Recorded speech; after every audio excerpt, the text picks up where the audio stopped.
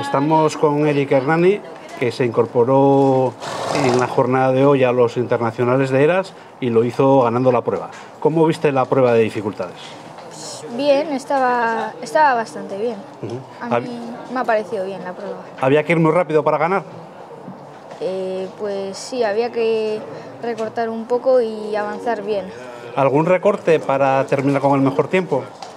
Y Yo he hecho uno del 10 al 11 por delante del 6 creo que era. ¿Y para mañana qué prueba vas a correr?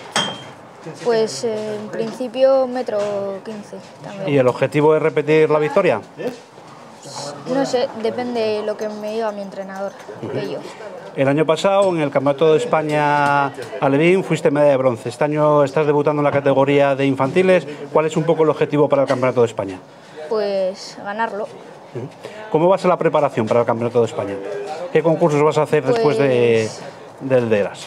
Haremos también el chas, el otro eras, Laredo y en principio esos. Igual alguno más o alguno menos, pero no sé, en principio esos.